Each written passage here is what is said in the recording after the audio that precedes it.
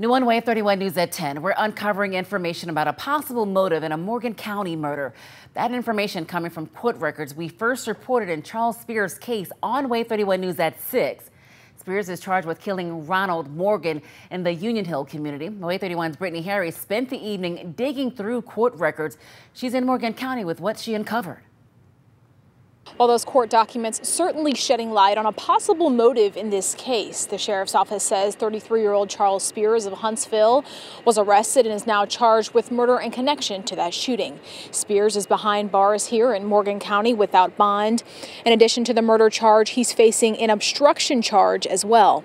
Court documents show the victim, Ronald Morgan, was found with multiple gunshot wounds sitting in a shed at a property on Lenox Lane. Police say four shell casings were found on scene and Spears had a gun on him when he was arrested. Police say Spears told a witness he shot Morgan multiple times.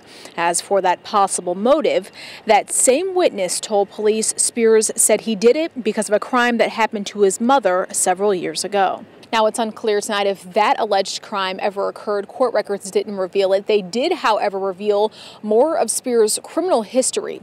We've learned that back in 2019, he pleaded guilty to an assault charge that was originally an attempted murder charge, where he apparently shot someone multiple times. That crime happened in Madison County.